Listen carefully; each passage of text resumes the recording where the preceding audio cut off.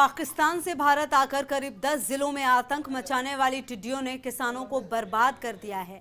60 साल में पहली बार ऐसा हुआ जब किसानों की रबी की फ़सल को इतना ज़्यादा नुकसान हुआ है। तीन लाख हेक्टेयर से ज़्यादा क्षेत्र में खड़ी फ़सलों को टिड्डियों ने 75 फ़ीसदी तक चट कर दिया है। टिड्डियों के घातक झुंडों ने उन्नीस सौ तिरानवे में पहली बार हमला किया था, लेकिन इस बार टिड्डियों ने सभी रिकॉर्ड तोड़ दिए हैं।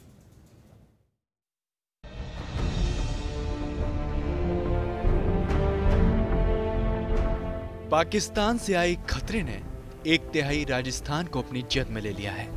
गुलाबी और हरी शक्ल में आई ये मुश्किल पहले से ज़्यादा खतरनाक है। पश्चिमी राजस्थान में 60 सालों में सबसे ज़्यादा वक्त तक टिड्डियों के हमले जारी हैं।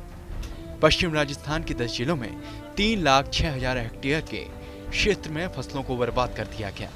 इन जिलों में गुलाबी टिड्डियों ने पहले खरीफ की फ़सल को बर्बाद किया और अब नए हमलों की एक बड़ी लहर ने रवि की फ़सल को नुकसान पहुँचाया है। अफसरों और किसानों के आकलन के मुताबिक टिड्डियों के आतंक का शिकार सबसे ज़्यादा श्री गंगानगर जिला हुआ है।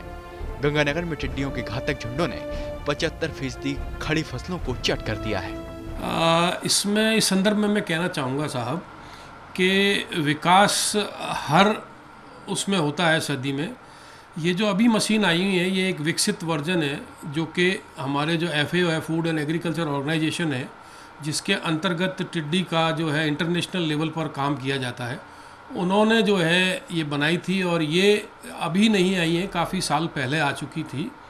और चूँकि इसके पहले हम लोग पावर डस्टर से कंट्रोल करते थे, जिसमें केवल डस्ट उड़ाई जाती थी मतलब कि पाउडर उड़ाया जाता था, और वो बीएचसी पाउडर होता था, जिसको अभी वर्तमान में बैन कर रखा है। गुलाबी टिड्डियों का ये वो दल है जो हरी टिड्डियों से भी ज़्यादा विध्वंसक है।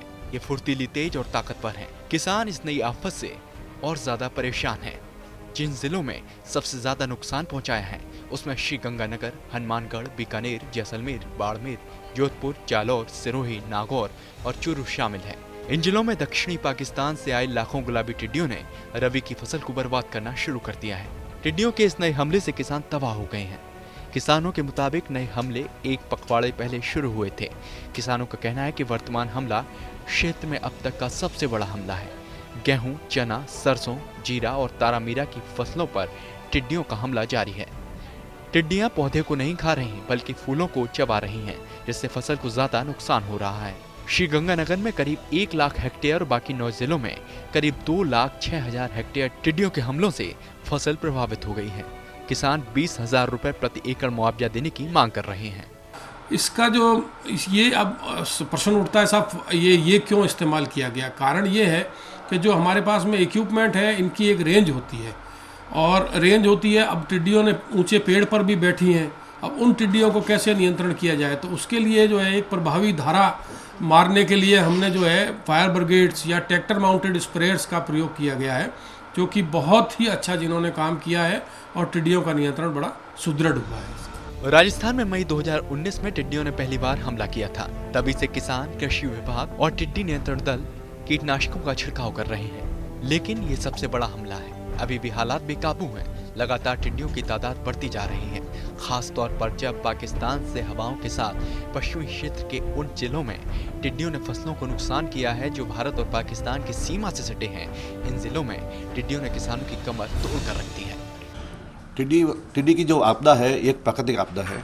लेकिन कृषि मंत्री लालचंद जी कटारिया बाड़मेर और जैसलमेर बॉर्डर पे पूरा पूरा निगाह रखे हुए हैं।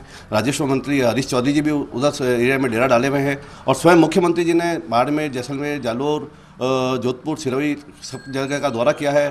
सभी पटवारियों को गिरदावरी रिपोर्ट बनाने का निर्देश दिया गया है। बहरहाल, रवि की फ़सल पर 60 साल में पहली बार टिड्डियों का इतना बड़ा हमला हुआ है। टिड्डी दल का यह हमला इस बार ज़्यादा खतरनाक माना जा रहा है, क्योंकि इससे पहले जब उन्नीस सौ तिरानवे में टिड्डी दल ने फ़सलों को चौपट किया था तो उस समय अक्टूबर में ठंड की वजह से टिड्डियाँ मर गई थीं।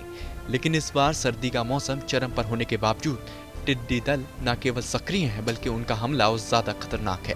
सबसे ज़्यादा खतरनाक रेगिस्तानी टिड्डी होती है। इस बार जो प्रजाति सक्रिय है, वो रेगिस्तानी टिड्डियों की है। एक वैस की टिड्डी की रफ्तार 12 से 16 किलोमीटर प्रति घंटा बताई गई है। ये टिड्डियाँ किस कदर नुकसानदायक हो सकती हैं, इसका अनुमान ऐसे लगाया जा सकता है कि इन टिड्डियों का एक छोटा सा दल एक दिन में 2500 आदमियों के बराबर खाना खा सकता है। जैसलमेर और बाड़मेर में जब टिड्डी का प्रकोप आतंक हुआ था, मुख्यमंत्री अशोक गहलोत ने खुद दौरा किया। गिरदावरी के आदेश दिए। बाद में ये टिड्डी पाली, जोधपुर, उत्तर हुए जालो और सिरोही में भी फ़सलों को नष्ट और चट कर चुकी है। मगर वैज्ञानिकों की बात करें तो उनका साफ़ तौर पर कहना है कि नियंत्रण प्रभावी रहा है और अब धीरे धीरे कहीं ना कहीं टिड्डी का प्रभाव भी कम होता जा रहा है। मगर जिस तरीके से जो बात सामने आ रही है, चार लाख हेक्टेयर इलाके के अंदर टिड्डी ने घुसकर जो नुकसान किया गया है, जब तक किसानों को उसका मुआवजा नहीं मिलता है, तब तक किसान परेशान रहेंगे। क्योंकि कितनी मेहनत करने के बाद किसान अपनी फल को बोता है। लेकिन ये कहना ज़रूर होगा कि इस पूरे पश्चिम क्षेत्र में मंत्री हरीश चौधरी लालचंद कटारिया सक्रिय रहे, टिड्डी नियंत्रण दल के अधिकारी सक्रिय रहे, बाहर से मशीनें मंगाई गई। पहली बार ऐसा मौका हुआ अंतर्राष्ट्रीय स्तर की मशीनों ने टिड्डियों पर नियंत्रण करने की कोशिश की तो वहीं दमकलों के ज़रिए भी टिड्डियों को नियंत्रण करने की कोशिश की जिससे कि पेड़ों पर या दीवारों पर या कहीं भी टिड्डी रह नहीं जाए जिससे रह करके फ़सल को नष्ट नहीं कर दें। स्वर्गीय मोहन सिंह गहलोत के साथ Rajiv Gaur, first India news, Jodhpur.